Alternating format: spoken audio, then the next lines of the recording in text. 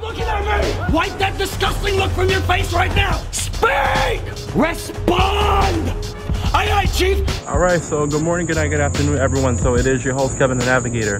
Now, on the sea story, um, why am I sitting in a swimming pool? Is because in this episode of Navy Boot Camp Experience, um, you guys are going to experience how to swim. So, this episode is basically about swimming pool, right? So, when you go to Navy Boot Camp, after after you're done with your gun range, after you're done shooting guns and stuff like that, you got to take your tests, your written tests, your oral tests, and your chain of command tests. That part being said, fair warning to everybody, if you're joining the Marine Corps, the United States Navy, and the Coast Guard, you must learn how to swim because these are water-based branches. Um, even the FBI and the um, police departments, you need to learn how to swim because just in case if there's, if there's any criminal activity on sea or on body of water, um, you you will know how to swim and chances of survival as well. So in Navy boot camp, uh, Marine Corps can say this as well. So if you guys who join the Marines and the Coast Guard, um, definitely comment down below. So when you're in the Navy, right, and you do your guns, you you do your stuff, you finish your tests, you pass, you do your your inspection. At that point, um, you already have your utility uniform already. You have your um, you have your coveralls already. So you have your jumpsuit, your coveralls. Um, you don't have your peanut butters yet. So you don't have your black and so your your peanut butter shirt and your black um, sorry, navy blue pants and leather shoes and the collar device. You don't have that stuff yet. That's like before battle stations. Um, but after swim call, you're going to get the um, the peanut butters, the khaki and the black. The khaki and the black, you're going to get that um, after swim call. But like I said, fair warning to everybody, you need to learn how to swim because if you don't know how to swim and you're in boot camp, you're going to be left back. And when you be left back, you're not going to graduate on time. So boot camp is eight weeks of, of, the United States Navy. That's eight weeks. Coast Guard is longer. No, Coast Guard is shorter and Marine Corps is longer. But if you don't know how to swim, you're to get held back. So they're to set you back in the division. But don't worry, they'll teach you how to swim. But like I said, you better learn quick. You better learn how to float and learn quick. And by the way, watch my other video when I show you how to breaststroke. This That is the essential stroke you need to learn. You must learn the breaststroke. The breaststroke is the essential stroke. The freestyle, this is the freestyle. This is a butterfly. You don't need to learn all that. You need to learn breaststroke. Breaststroke, you look like a frog. You're swimming like a frog. You're swimming like a frog.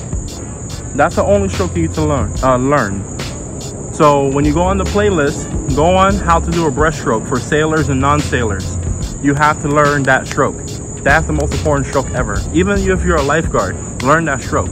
But anyway, so when you're in boot camp, you're about to do a swim call. When you do your swim call, um, they will make you wear these shorts for guys. They make you wear uh, blue shorts or brown navy diver shorts. They're very flexible. Trust me, they're good very flexible. It will come with your sea bag. Um, for, for ladies, for women, um, they'll make you wear like a, a, a, co a covered bathing suit. I'll show you what it looks like. It's, it's, not it's not the one you see celebrity girls wear with their with their um, their private parts hanging out. No. That's not allowed. That's a no-no.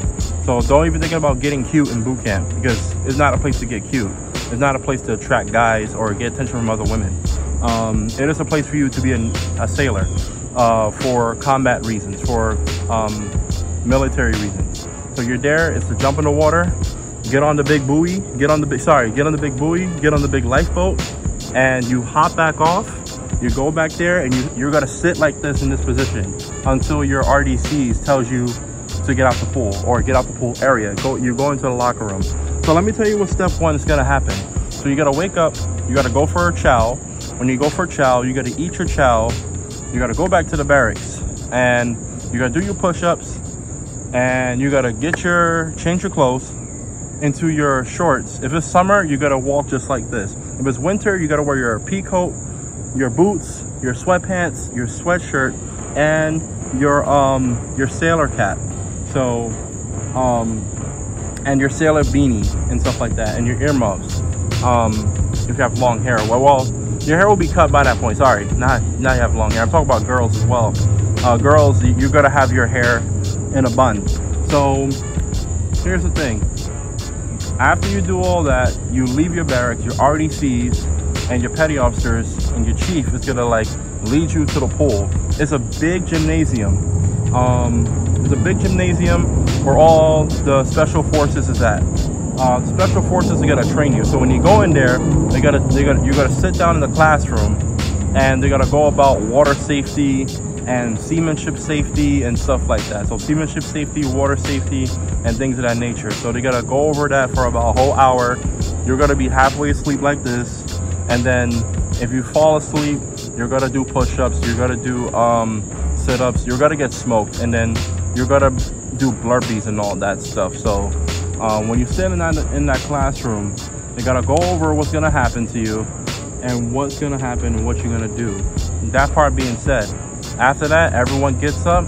They form they form a tow line. They form a line. You march, march, you march, you march, you march, you march, all the way to the locker rooms. The locker rooms, the girls is over here, the boys is over here. Um, you gotta for for boys because I don't know about the girls' locker room, so you know, because I'm a I'm a man. But the men's locker room, you're gonna you gotta hurry up and change. You know, you have to hurry up and change because there's more divisions behind you that needs to go to the swim call. So you're gonna change quick. Um, everyone's gonna start talking, but your petty officer's gonna come up and say, "Hey, everyone, shut the f up, shut the f up, shut the f up, shut the f up, get the f out of the locker room, get the hell in the water." So of course they gotta start cursing at you and they'll be like, what the F you looking at? F you, F you, F you, F you. Like they gotta start doing that to you. So get out to the locker room quick. You take your little shower. It's very cold, so it's not hot. It's, it's, it can't turn hot on purpose. So you go out there, you go to that pool deck. You see this pool deck, right? Yeah. Then I kind of hesitated, and before I knew it, I was over the edge. So once I finally got out of the pool and made my swim, I was like, okay, great. The worst part is over. And then we go to the other side and we have to jump off again. And I was like, man, why didn't they tell us this before we joined? I would have reconsidered that. But I passed. Um, As it is. And it's not the fact that um, you're like, I'm afraid of heights, but it's the feeling. Yeah, it's the feeling your stomach gets when you drop. You have to hold on to a stable boat, and everybody has to get in it one by one, and the water was really cold. But it was quick, it was fast, and uh, I really enjoyed jumping off the tower. Yeah, that was not fun. I, didn't, I did not enjoy that. You see this pool deck, right? So if you can see it, you see this pool deck? You're gonna sit, you're gonna sit in the chairs on those big bleachers, those gym bleachers, and then they gotta call your division. They go, um, um, you gotta, they gotta call your division, and you gotta say your last name and your social security, your last letter, your last number social security.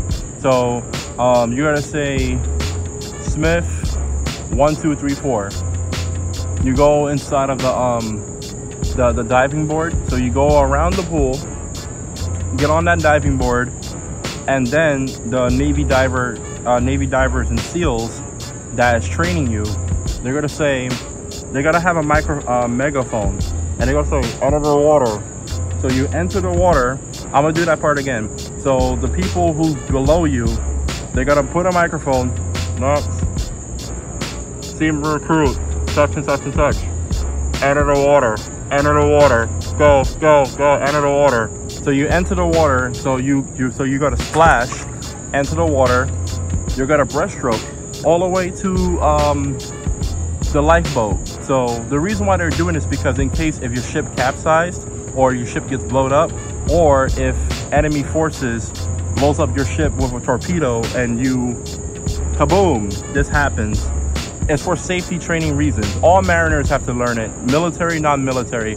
Uh, when I go to maritime college in January, I have to take the um, the STCW course. So it's a safety training watch watch course. So which uh, which I'm telling you what it is now. So um, I had an introduction of it. It was kind of fun. I'm not gonna lie, it was very fun because it was a big a big lifeboat, and everyone just everyone was grabbing on, on onto the line.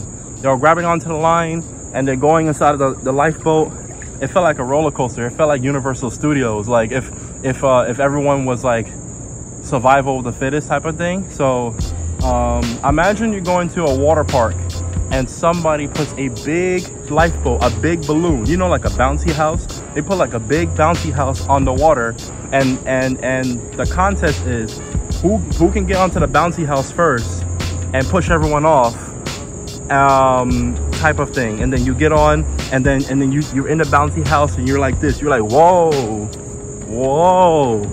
That was really cool. That's the best part about boot camp, in my opinion. It was the water, the water part, um, the swim call and when you got into the side of the lifeboat and uh, and you go inside of the lifeboat and it was a it's like a big bouncy house so that that happens and also you'll be tested as as well now when you're inside that bouncy house you have to look out for your shipmates so if you see someone in the water basically you got to put your hand out so you got to put your hand out and the person has to grab right here they have to grab right here you got to pull them up you got to pull them up and use the line the line is a rope. You use the line and you pull them up just like this. You pull them up inside of the bouncy house. I'm sorry, lifeboat inside, and then you look. You do the lookout. So you do like a little lookout, and then you go the other side. So you crawl, go other side.